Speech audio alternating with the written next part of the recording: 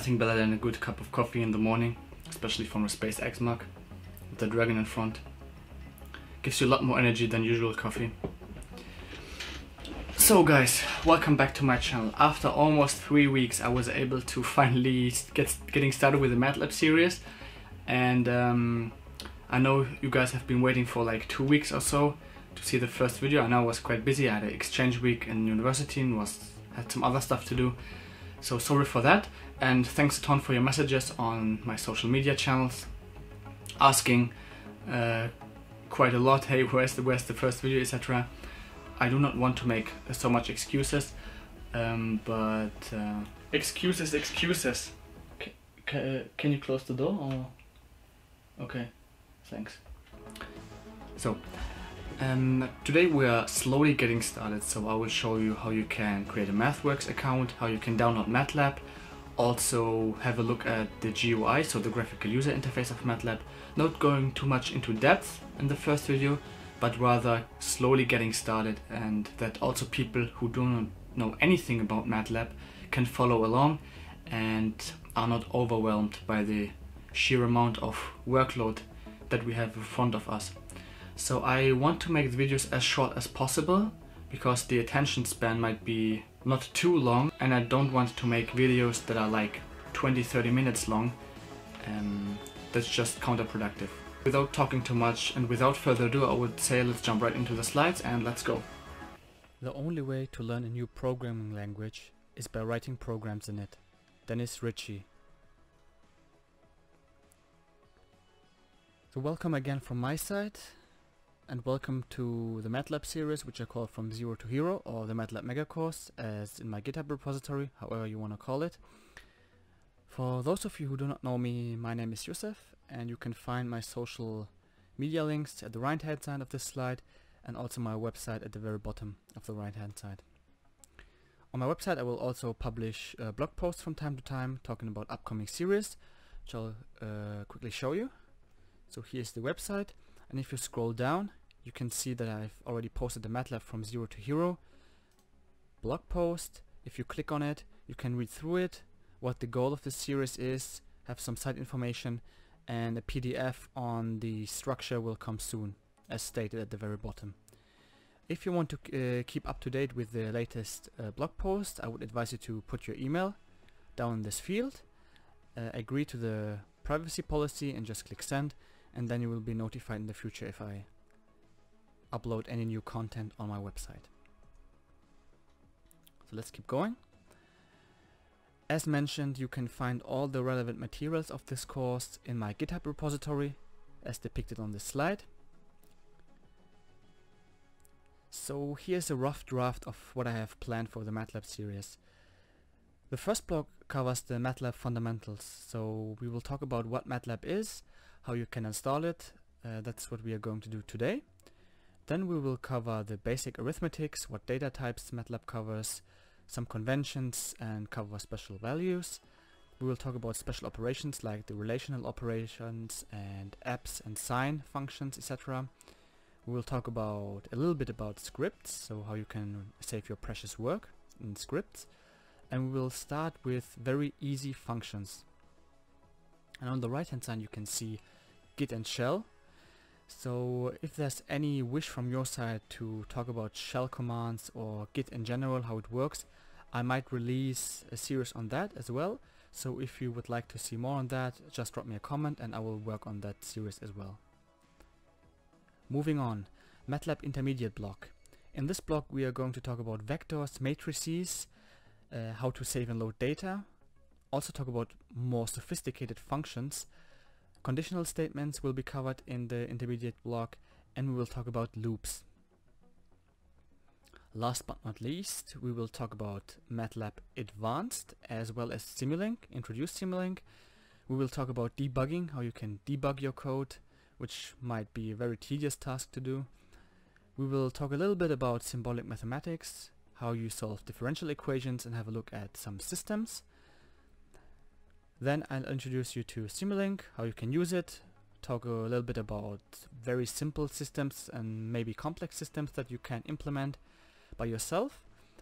and we will also cover advanced examples like the Lotka-Volterra equation, which is the predator-prey equation, as some of you might know already about, and also talk about engineering systems as this is an engineering channel and we will talk about let's say the spring pendulum or any other mechanical system. So prerequisites for the course, what you do not need are plenty of books, you do not need a degree, and you don't need any money. So this is a free course from my side for you guys that you can watch on YouTube. Everything will be available for free. If you want to support me, I'll talk about that later on, but you do not have to put your money into any course.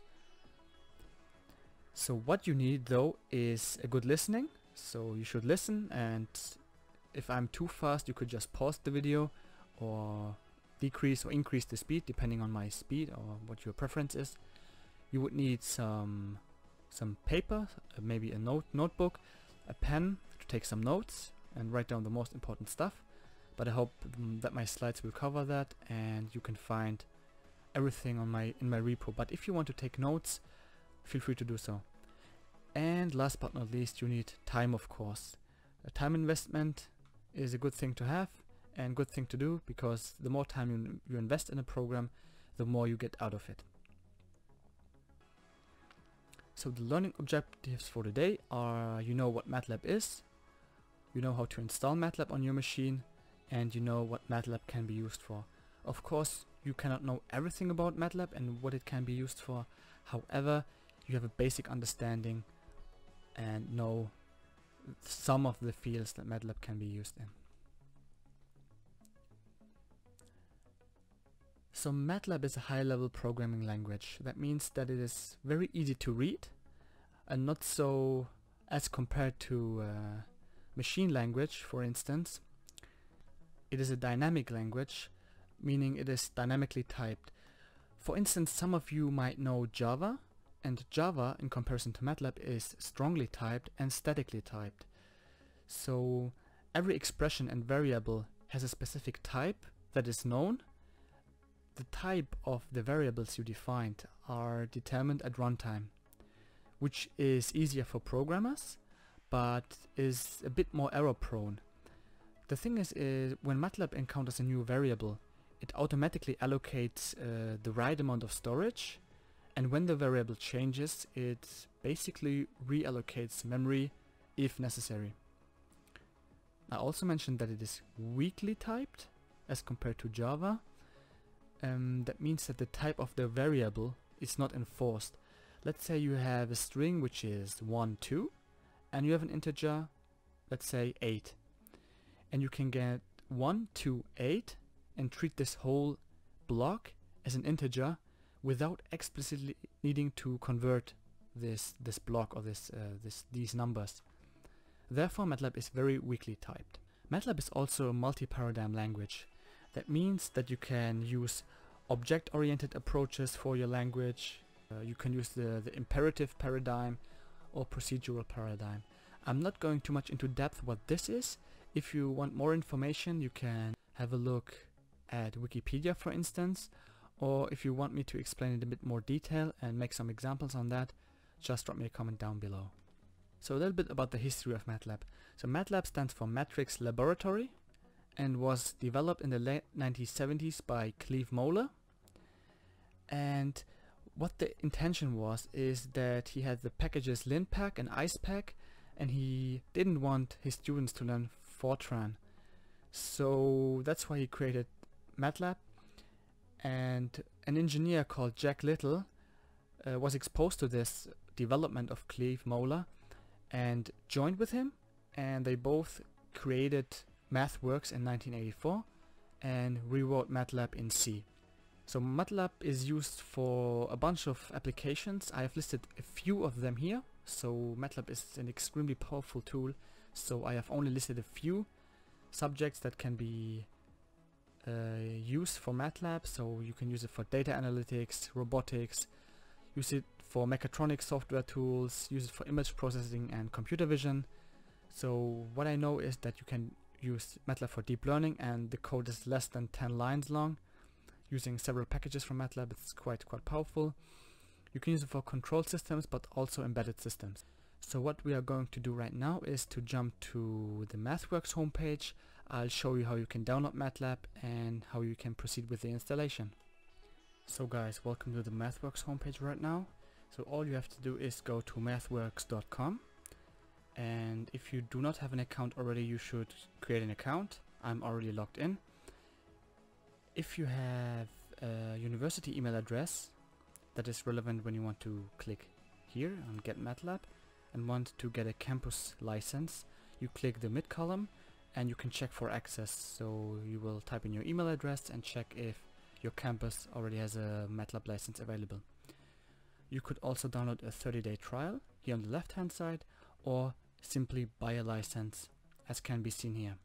It's not that expensive. So what we are going to do now is we download the latest release and what we can do is uh, during the installation process we can log in if we have an account and MATLAB will check if a license is available or if we bought MATLAB already. I would click here download. Would choose Windows right now. I downloaded the executable already but you can also download it for Mac OS as I also have done it. It's quite stable from my perspective or you can download it for Linux as well.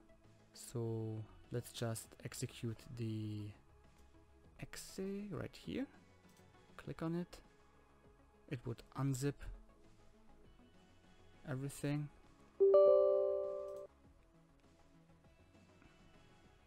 So right here at the installation it says uh, login with MathWorks account. I have my account already set up. So here would be my email address which would be my university email address. And then type in my password. I'm not going to do that now because I do not want to upgrade my MATLAB I have 2018 already available so I click cancel here and quit the installation. Once you have MATLAB installed you can run it from your machine typing in MATLAB then it would start MATLAB. And here we are. This is how MATLAB looks like. So at the next video we are going to have a look at MATLAB's GUI that you have uh, just seen. We will have a look at the help so how you can use the help functions and also have a look at MATLAB's documentation on how you can use that efficiently for your projects. So this was the first video on the MATLAB series. I hope that you enjoyed it, could take something away from it. If you have any questions, as always, drop me a comment down below, ask me anything you would like to ask. The thing is that this MATLAB series is the basis of everything that will come later on. So if we do a if we do a series on fluid mechanics or a series on the finite element analysis or something like that or contact mechanics whatever we can use our knowledge from my channel about MATLAB to use it for other topics as well. So that is basically the goal. And talking about goals as you might know I want to reach 1 million subscribers. So make sure to share the video with your friends. Smash the like button if you haven't already. Activate the notification bell and see you in the next one. Peace